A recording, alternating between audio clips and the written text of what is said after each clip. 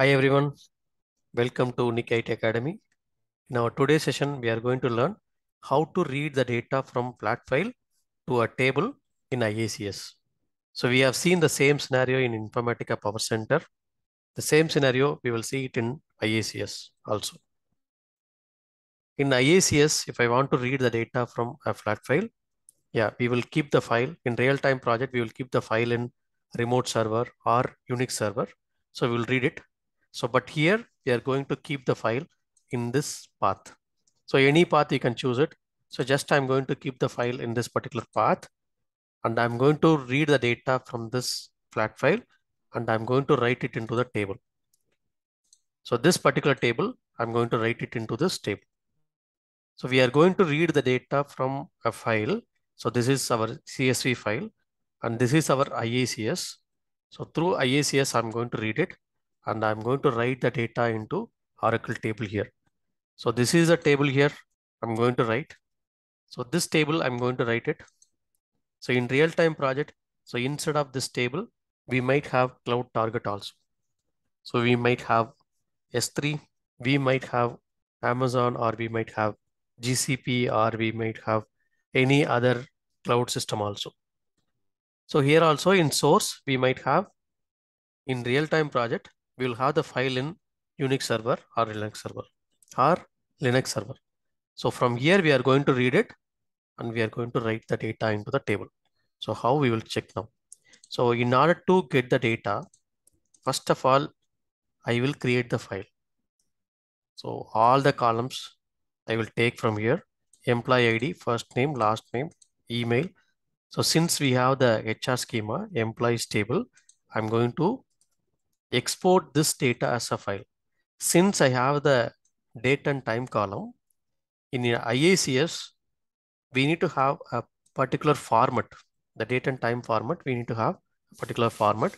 So that's why I am I'm taking the hire date in this format. Okay. That's why I have created here, took care of this. Okay. I'm going to execute it. You can see this and right click on this particular data. You can click on export I'm just creating the source CSV file. Format, you can choose CSV file. Left enclosure, you can make it like none. And right also automatically it will be none. And you can choose the path. We can go to the path here. C drive SRC files. I'm just going to save this data in this file. Source flat file underscore employees dot CSV. So this is the file I'm going to create it click on OK, save, and this will be created here. You can see here a CSV file has been created.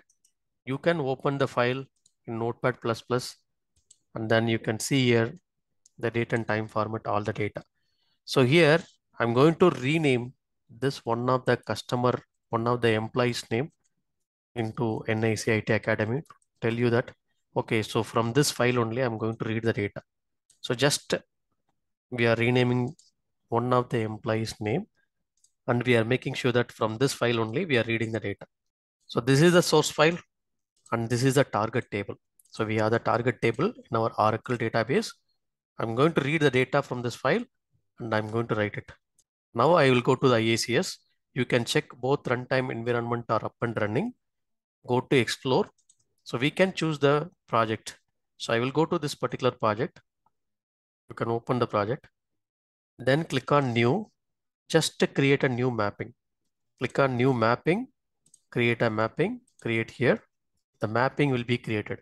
So you can provide the mapping name. So it should be a M underscore.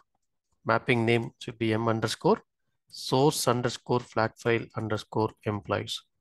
Just I'm providing the naming convention and location is the project name, which we have created already. And description, if you want, you can give the description here. So I can take this one to read the data from flat file to table. Just I'm mentioning the description here. Then I will go to the source here, click on source. So one time on the source, source will be selected. You can click on this window, maximize and go to source here and click on the connection. So very first, if you have already created a connection, we can make use of that connection. If not, we will create a new connection. Since the date and time format is different here, I will create a new connection here. So we can create a new connection here also in the administrator page. So go to new connection. So here you can provide the connection name. Yes, I am giving that source flat file EMP.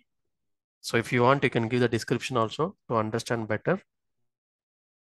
Type, you can choose the flat file. Then runtime environment, you can choose this runtime environment. Directory, you can give this directory and the date format. So this is very, very important. So that's why we have created in this format. So in this format, DD-MM-YYY format. So which format we have?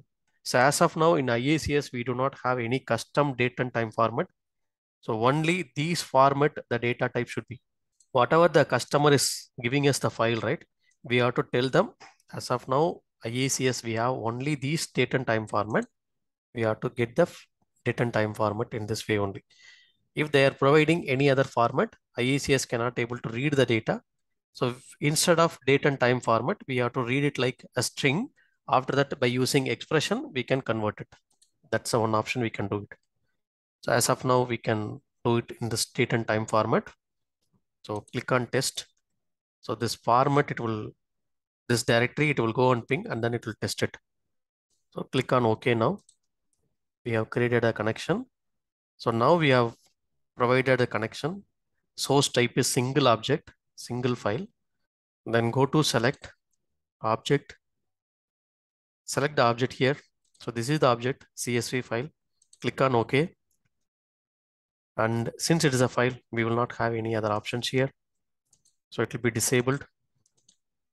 Then go to field. So since it is a flat file, you can see all the field. So 11 field we have, right? All the field data types are string. So we have to define a correct data type. You can click on options, edit metadata. So you can click on edit metadata. We have to provide native data type. So our source data type, flat file data types, flat file to Informatica data type. So here, what is the data type of our source? So employee ID, we can keep it like number, first name. So number of, number of four.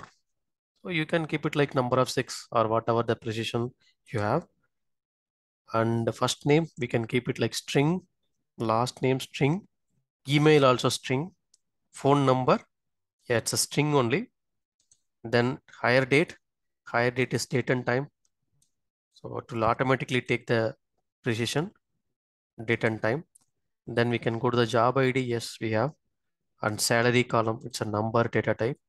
We can provide number, commission percentage, number, but it is a decimal, right? So if it is decimal, make sure that you are providing a decimal point correctly. So that's very, very important. Go to that number, decimal. We can provide the native data type. Like we can give some 8 comma 2. So we have to provide the scale. Scale is very, very important. Then we can go for manager ID. It's a number data type. Then you can go for four digit and department ID also. Number data type, four characters. You can verify one more time all the data types we have given correctly and click on save. So we have defined the source now. Then we can go to the target. Since it is a direct load, so just we are reading the data from a source and then we are going to load it into a table. We can go to the target table here. You can maximize it. You can go to the target here. I have already created a connection, Oracle underscore TGT, this connection, single object. The object we can choose this object, T underscore employees, right?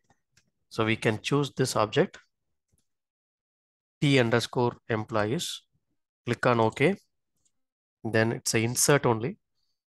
If you want, you can truncate target table. That means before loading the data into the table, so IICS will truncate the target table and then it will load. So here we can do the truncate and load.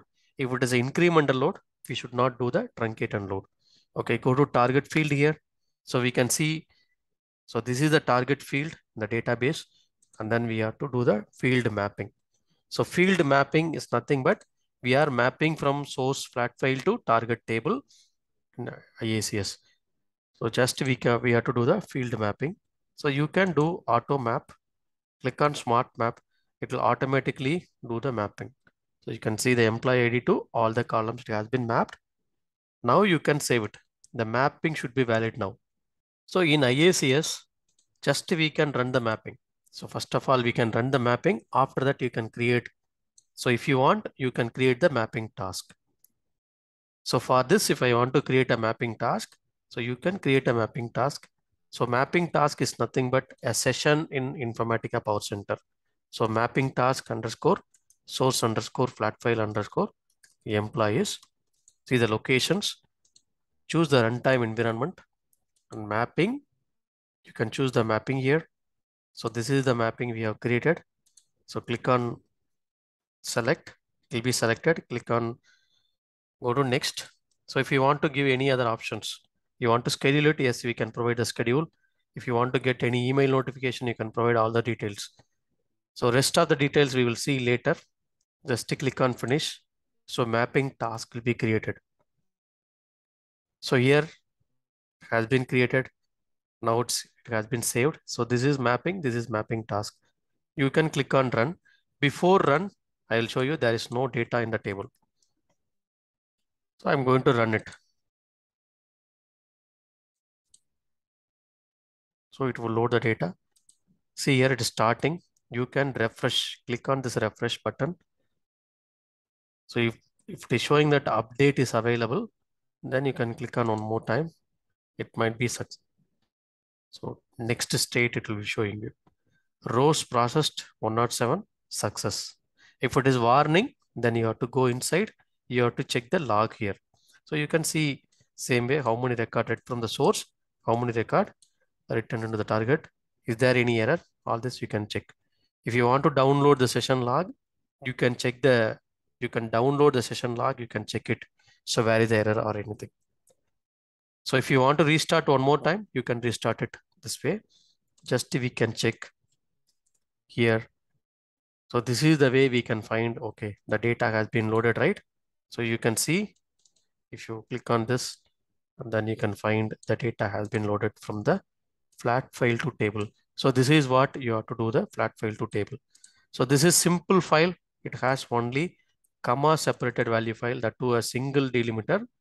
In our next session, we will see with the different delimiters with the different options. Thank you.